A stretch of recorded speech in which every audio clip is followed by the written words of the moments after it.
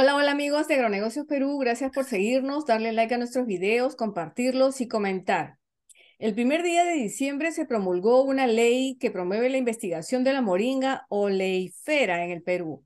Eh, dice su artículo único, se declara de interés nacional la investigación científica sobre las propiedades nutritivas, medicinales e industriales de la especie moringa oleifera a fin de evaluar su salubridad e inocuidad como alimento y su incorporación en los programas alimentarios a cargo del Estado, así como el impacto de su cultivo en el medio ambiente. Y quien ha, quien ha investigado sobre esto y de hace ya varios años es el empresario y biólogo Werner Guevara, quien tiene plantaciones de esta planta en Piura y con quien vamos a conversar sobre esta declaración de interés por la moringa. Buenas tardes, Werner, ¿qué tal? ¿Qué te ha parecido la noticia? Buenas tardes, Norma, ¿qué tal? Gracias por tenerme una vez más. ¿Qué te ha parecido la noticia de, este, de esta ley que ya se ha promulgado? Me sorprendió, muy alegre, es bueno que por haya un interés, sobre todo nacional, sobre un producto que tiene bastantes beneficios. Claro, y sobre todo que se habla de investigación primeramente, ¿no? Eh, en nuestro país, de repente tú sepas eh, si hay investigación avanzada o no hay ninguna, o hay de repente eh, casos como el tuyo, ¿no? Tú has estado investigando desde hace varios años este, este cultivo. Eh, claro, como nosotros hemos investigado básicamente las propiedades de la, del producto como en sí, sé que en algunos casos, eh, pero bien poco y en específico en ciertos lugares de Lima han habido investigaciones con respecto a, a, la, a la moringa, sobre todo el polvo y el tema de la anemia ¿no? en, estudiantes, pero yo creo que esto da pie a una mayor investigación, ¿no? Para poder reducir un problema tan eh, insaciante, ¿no? En, en, los niños y sobre todo para que pueda mejorar la educación a nivel nacional. Claro, ¿y quién crees tú o cuál sería la entidad encargada de hacer las investigaciones? Puede ser sector público, puede ser sector, sector privado, de repente INIA, ¿no? Eh, de repente INIA, pero INIA vería más, digamos, la investigación de, de plantaciones en campo. Eh, yo creo que tanto el tema público y privado serían ideal, sobre todo una parte, la parte médica, quizás el Ministerio o el MINSA, ¿no? Podría haber correlación a cómo afecta eso a la salud, porque a fin de cuentas eh, lo están, básicamente la nueva ley que han promulgado se basa en, como un tema alimenticio, ¿no? Ya se conocía que la moringa, sobre, por ejemplo, el aceite u otros productos son buenos para tema de piel, tema para cabellos, pero netamente tópicos, ¿no? Usados en el momento. Eh, a pesar de que nosotros ya venimos dos años ya, haciendo, usándolo como un tema alimenticio, ¿no? El aceite de moringa lo venimos consumiendo todos los días y el, y el polvo, ¿no? También, ¿no? Entonces, es bueno que ahora se fomente más eso eh, y, hago un llamado quizás para el tema público y privado que, que, se interesen. Nosotros seguimos investigando, seguimos produciendo, entonces eh, va, a ser, va a ser bueno ¿no? que más gente se integre a, estos proyectos. Claro. Si se incorpora este producto a los programas alimentarios sociales a cargo del Estado, ¿en qué formas podría ser? Eh, como un suplemento alimenticio, por ejemplo, en qué sé yo, en sopas, ah, como harina? ¿Cómo sería?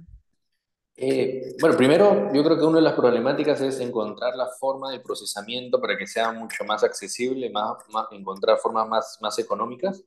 Eh, ¿Y cómo se podría hacer? Bueno, eh, el aceite lo pueden usar como un aceite de cocina que no genera tanto humo, puede soportar bastante temperatura, entonces al, al hacer eso no se va a degradar, entonces lo que uno consume no son eh, grasas tan alteradas por el calor al momento de cocinar, como es el caso del aceite de oliva.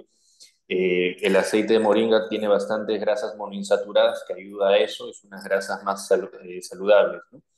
y sobre todo el polvo también se puede incluso agregar una cuchara o una cucharadita, dependiendo de poco a poco el, que el paladar se vaya acostumbrando eh, en los quakers, en, en, los jugos, sobre todo en los jugos cítricos queda muy bien.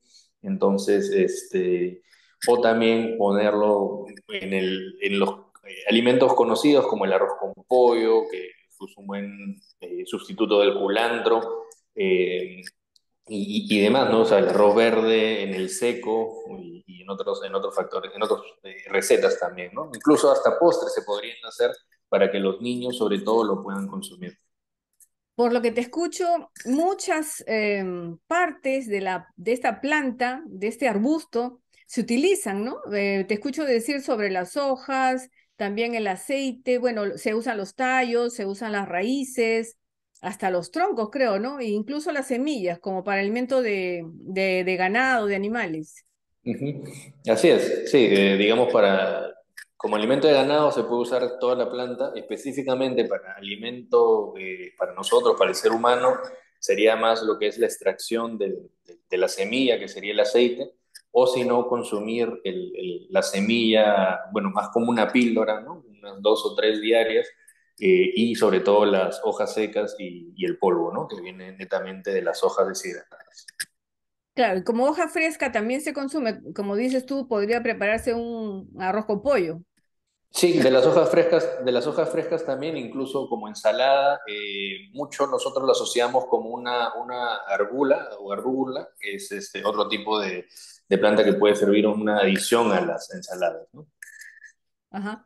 Y bueno, hemos leído, se ve bastante en internet que este, esta planta, este cultivo puede curar hasta 300 enfermedades, tiene propiedades antiinflamatorias, se ha utilizado por siglos porque tiene propiedades medicinales y beneficios para la salud.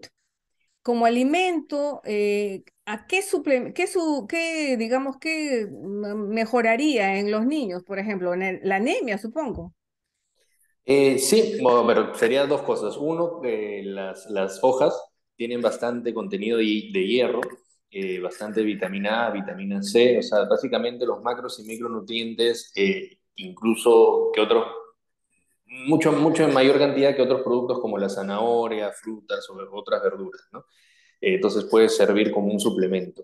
En el caso del aceite, tiene el omega 7, el omega 9, que son estas grasas monoinsaturadas que ayudan este, a, regenerar, digamos, células, eh, incluso grasas, grasas eh, saludables o que, que, aportan un mejor beneficio y circulación del cuerpo. ¿no? ¿Y cómo está el cultivo de la moringa actualmente en el Perú? Eh, tú tienes unas, eh, una, un fondo, estás eh, produciendo, y ya hay en otras partes del país también, pero ¿cómo está? ¿Está creciendo las hectáreas de moringa? ¿Hay interés por este cultivo? Yo creo que poco a poco hay interés, digamos, vamos eh, nosotros vendiendo cada vez un, un poco más, sobre todo del, del, aceite, ya a medida que se va haciendo más conocido. Eh, sé que va a haber incrementos de plantaciones, sé por ahí en Lambayeque que están, están sembrando, sobre todo en la costa, ¿no? Donde es un buen un buen clima para, para la moringa, ¿no? porque en, en, sierra sí la moringa el frío tendría bastante problemas, ¿no? porque incluso en el frío piurano un poco que la planta se aguanta, ¿no? entonces necesita climas cálidos, climas templados para poder eh, producir, incluso producir todo el año. Claro. Y dime, ¿esta planta sería una alternativa eh, interesante, por ejemplo, para productores, ahora hay algunos productores que están teniendo problemas con la palta, otros con los cítricos, porque hay exceso de producción, eh, los precios han caído, los mercados están saturados y bueno, muchos este, ya no saben qué hacer, ¿no? De repente esta sea una alternativa, ¿se podría? Eh, yo creo que los, eh, agricultores que están acostumbrados a, los cultivos que ha mencionado están acostumbrados que su, por hectárea les rinda cierta cantidad de, económica, ¿no? Yo creo que con la moringa, eh, o sea, tienes dos partes. Unos que son los beneficios directos, que es al, al, al, vender los productos como tal, ya sea el aceite, el polvo la hoja deshidratada, pero que quizás no llegan a los beneficios directos comparativos a los otros cultivos que he mencionado, pero tienen los, los beneficios indirectos, que son como, como el uso, por ejemplo, de la cáscara que queda de la semilla, ¿no? eso se puede moler y se puede usar como un propio fertilizante, de las podas, ramas, este, hojas, este, o hojas este, que, que, que no son usadas para el proceso de hacer el polvo, también se puede usar en, molienda, dar tanto para animales, pero volver a, a, meterlo al, cultivo como fertilizantes o como un, guano, entre comillas, pero que ayuda a darle más este, consistencia al terreno donde están los cultivos, ¿no? Entonces, eh, yo diría más eh, más que depende de qué, el, agricultor que está buscando, ¿no? Si es un beneficio más económico tratando de eso, la moringa yo creo que te podría dar menos, pero está detrás el, el, beneficio indirecto que eh, alguna, de alguna forma suma y, te pone a la par competitiva como los otros cultivos, este, al no gastar en fertilizantes o quizás no gastar en pesticidas, ¿no? Claro, es un cultivo para pensar más en el proceso, ¿verdad? Sí, definitivamente. Claro.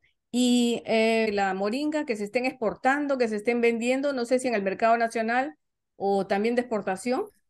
En el mercado nacional sí, definitivamente. Eh, se encuentra en los mercados, eh, en mercados de la Victoria, encuentras muchos en, las herbolarias ¿no? de, todas las partes del, del, Perú, quizás poco a poco en, incremento. Sé que en tema de exportación eh, se está exportando más el tema de la, del polvo o de la, de la hoja, eh, pero es bien, bien errático, ¿no? No es, no es, algo constante, estamos tratando de buscar clientes que sin, al, al, ofrecerles una producción constante todos los meses, pues puedan tener esos productos, ¿no? Eh, incluso, yo creo que en esa parte está todavía la, la investigación, ¿no? Que, hay partes o, terrenos que tienen moringa, pero que no los hacen producir todo el año o, pueden hacer producirlas todo el año, por lo que hay una baja, hay una curva bastante pronunciada de a veces de los precios, ¿no? A veces sube bastante porque no hay, no hay la oferta de, de, los productos, o a veces, muchas veces se tiene bastante y ya lo tienen que, que, vender a precios muy, muy baratos, que es bueno porque la gente lo puede acceder, ¿no? Pero la idea es buscar esa, esa constancia eh, de que el, cliente como tal lo pueda conseguir durante todos los meses del año.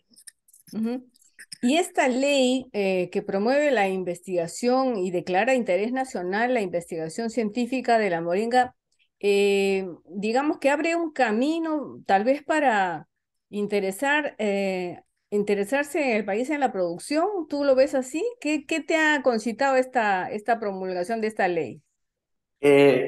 Yo la, hace, hace varios eh, meses o el año pasado vi, vi el proyecto de ley, pues me pensaba que a lo mejor no, no, no, iba a salir, lo cual me alegra que ahora ya esté, esté promulgada. Veremos, eh, supongo que falta algún decreto, alguna resolución que, que cuente con más detalles sobre los, los beneficios o, o, los aportes que tendría el gobierno hacia las empresas, tanto públicas y privadas, que, que estén metidas en la investigación de este cultivo, ¿no? Claro.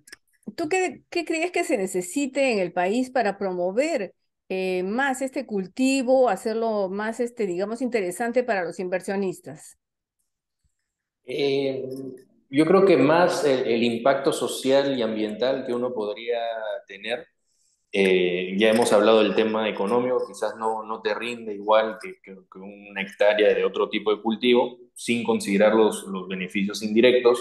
Eh, pero es más sobre el impacto eh, social y, ambiental que te puedan producir, porque te ayuda en el medio ambiente, o sea, la planta la puedes usar completa, desde las hojas, ramas, hasta de las raíces, si fuese posible. Eh, no consume mucha agua, es muy bondadosa con el tema del, del sol. Este, bueno, sí en la sierra, como el tema del frío, no, no, no podría, ¿no? Pero este, más que nada debería promocionarse así, ¿no? Es un buen cultivo para temas de impacto social y, ambiental. Claro. Y hay otro cultivo parecido que es el de la jojoba también, ¿no? Creo que también estabas eh, eh, en esos proyectos. Bueno, de la jojoba, eh, planta similar en el sentido de que se, se, necesitan las mismas características, mismos suelos o mismas cantidades de agua, pero es un aceite, o bueno, es más una, una cera que sí no se podría consumir, ¿no? Es más como para uso cosmético, definitivamente. Para uso cosmético.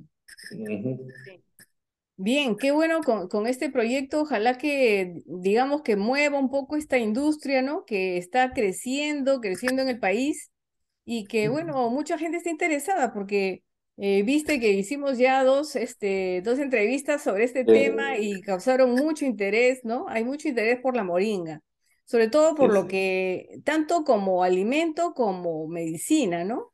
Mucha gente lo, lo busca. Y, a propósito, recuerdo que en España este, se veía precios de la hoja seca, un kilo de hoja seca estaba a 15 euros. O sea, no sé, son precios pues este, interesantes, ¿no? Claro, definitivamente. Ahora esos precios hay que acordar que son este, al cliente final, ¿no? Si es que uno, uno va hacia atrás, ver si quizás vendiéndolo a 5 euros, 6 euros. ah, este, claro, sí, porque siempre hay la ganancia del intermediario. Así es. La moringa es un cultivo muy bondadoso, este, muchos lo están usando también para el tema del, ganado, ¿no? Pero, pero no hay que olvidar que es un producto que nosotros mismos como... Eh, como seres humanos lo podemos consumir y poder eh, tener los beneficios, ¿no?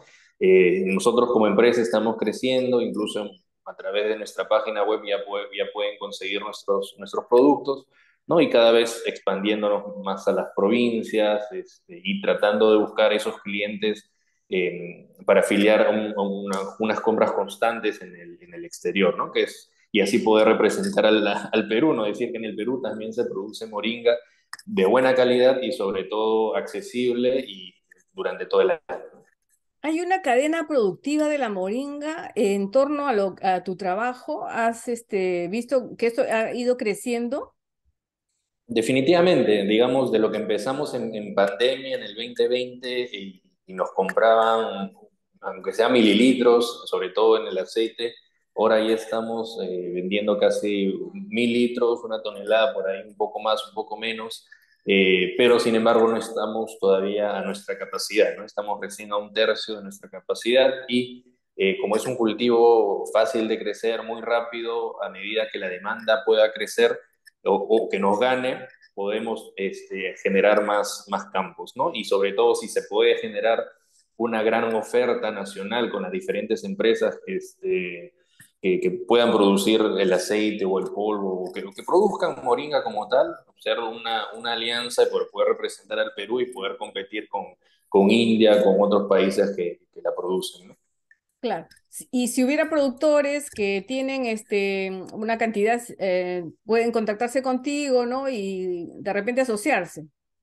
Podemos, sí, yo creo que podemos este, buscar a todos los productores que, que estén haciendo moringa y, poder lanzar el producto en común, ¿no? Para hacia afuera, ¿no? Que al final va a demostrar que Perú, pues, va a ser buen productor de moringa.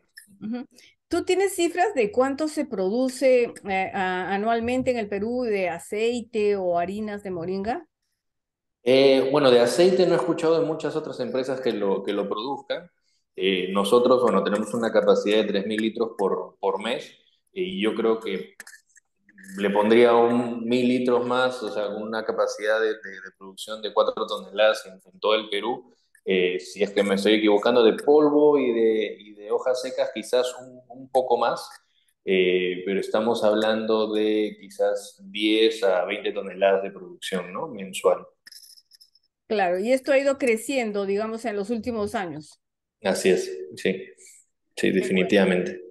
Eh, bueno, estamos vendiendo localmente, ¿no? Eh, expandiéndonos, eh, sobre todo presionando o implementando eh, el tema alimenticio, ¿no? Ahora en, presentaciones de, botellas de vidrio, como es el, aceite de oliva, para un sector más gastronómico, que es un poco lo que la ley quiere, quiere implementar o investigar, que no solo se quede en el tema cosmético, ¿no? La idea que también es pronto buscar alianzas en Estados Unidos, México, ¿no? Que, también utilicen el aceite. Muy bien. Muchas gracias, Werner Guevara. Gracias. Eh, de la empresa ANECAP. INECAP. INECAP. Eh, por esta entrevista y bueno, nos eh, conversaremos más adelante. Seguramente darán a conocer reglamentaciones o algo más sobre esta ley, más detalles para sabernos en qué va, va, a beneficiar a productores y consumidores. Muy bien, hasta esperemos, pronto. Esperemos eso. Gracias, Norma. Muchas gracias. Hasta pronto.